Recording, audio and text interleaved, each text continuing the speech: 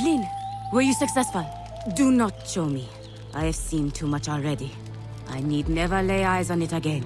Mama, I will return to New Orleans and set everything right. Then I will send for you. My dear, tenacious daughter. I want nothing more than to be close to you again. But this colony is my place now. The people here need me. Nouvelle-Orléans will always be haunted. I understand. Don't worry. This will not be the last you see of me. Be careful, my child.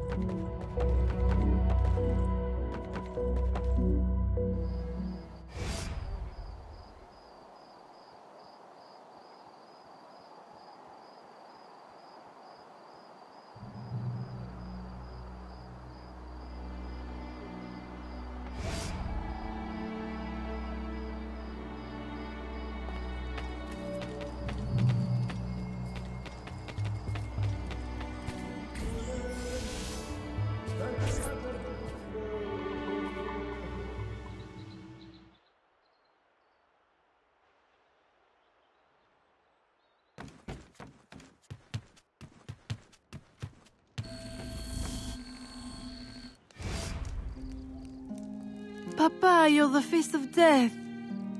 What does the doctor say? Do not worry, ma chérie. It is only... Papa!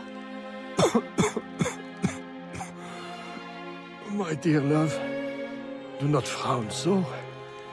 Between your worry and your stepmother's tonic, the malady hurts less than the cure. Ah.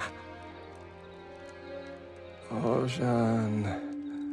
You were always so protective of that locket. I have always regretted. Aveline, I am sorry for interrupting, but I need your assistance. It is urgent. Of course. I love you, Papa.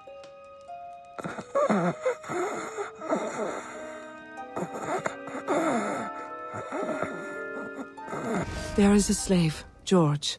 I promised him safe passage to the north, but during his escape he was discovered by soldiers. He hides, but... Please, is there anything you can do? With your business booming and your contacts in the bayou? Oui. I will get him to safety. In utmost discretion.